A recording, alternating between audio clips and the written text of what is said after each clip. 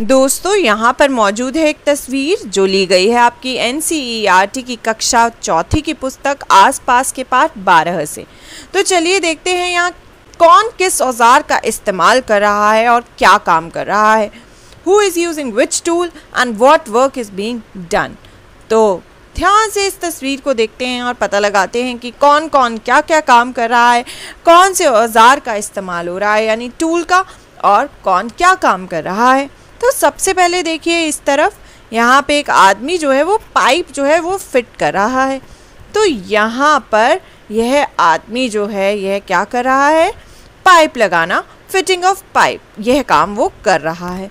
और वो कौन से औज़ार का इस्तेमाल करता है? वो इस्तेमाल कर रहा है प्लास यानी प्लायर्स और पाइप कटर का। और इसे हम क्या बोलते हैं? क्या आप जानते हैं जो पाइप लगाने का काम करता है, उसे क्या बोलते हैं? उसे बोलते हैं प्लम्बर अब ज़रा देखिए, यह आदमी जो है, यह एक बल्ब लगा रहा है। एक तार जो है, वो बल्ब से निकालते हुए वो उसे लगा रहा है। तो यह वाला जो आदमी है, ये कौन सा काम करता है? यह काम कर रहा है बिजली की तारों और चीज़ों को लगाने का, यानी इलेक्ट्रिकल फिटिंग्स का। और ये कौन से औजारों का इस्तेमाल करते हैं जो लोग बिजली की चीज़ों को लगाते हैं? वो इस्तेमाल करते हैं। एक तो यहाँ हमें दिख रही है चीज़, तार का, यानी वायर, पेचकस का इस्तेमाल होता है, यानी स्क्रू ड्राइवर और प्लास, यानी प्लायर्स क्या आप इसके अलावा कोई और औज़ार जानते हैं जो कि बिजली के सामान को लगाने वाले लोग जिस चीज़ का इस्तेमाल करते हों? और ज़रा बताइए कि इस इंसान को क्या कहते हैं जो बिजली के उपकरण लगाता है या बिजली की तारों का इस्तेमाल करता है? इसे हम कहते हैं बिजली मिस्त्री यानी कि इलेक्ट्रिशियन। अब ज़रा देखते हैं, यह जो आदमी है, यह, और साथ में यह आदमी, और यह दो आदमी, यह क्या क्या काम कर रहे हैं? सबसे पहले तो देखिए, ये तीनों ही लोग जो हैं, वो पत्थर ईटों और रेत से इमारत बनाने का काम कर रहे हैं। Making building of stones bricks and sand तो सबसे पहले ये जो आदमी है, ये हथौड़े से पत्थर तोड़ रहा है। तो ये कौन से औज़ार का इस्तेमाल कर रहा है? यह इस्तेमाल कर है हथौड़ा, यानी हैमर उसके बाद यह आदमी जो है, यह बालू और मिट्टी को मिक्स सीमेंट को मिक्स कर रहा है. और यह कौन से औज़ार का इस्तेमाल कर रहा है?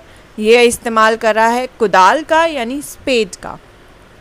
अंत में यह जो आदमी है दोनों, यह अपने सर पर जो है सामान लाद कर कौन से औज़ार में ले जा रहे हैं?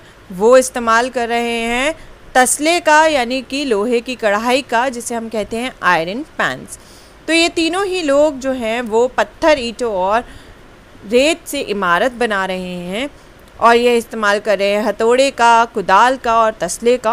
और ये तीनों ही क्या कहलाते हैं? ये कहलाते हैं राजमिस्त्री यानी कि मेसन। तो दोस्तों हमने क्या देखा? हमने देखा औज़ार और काम टूल्स एंड वर्क हमने देखा कि कैसे अलग अलग लोग अलग अलग औज़ारों का काम कर रहे हैं और उन अलग अलग औज़ारों से वो कितने अलग अलग काम कर रहे हैं और साथ ही हम इन लोगों को क्या पुकारते हैं। किसी को बिजली मिस्त्री तो किसी को राज मिस्त्री और किसी को प्लम्बर। दोस्तों, क्या इन लोगों के अलावा आप किसी और इंसान को जानते हैं जो किसी और औज़ार का इस्तेमाल करके घर बनाने में या इमारत बनाने में मदद करता हो?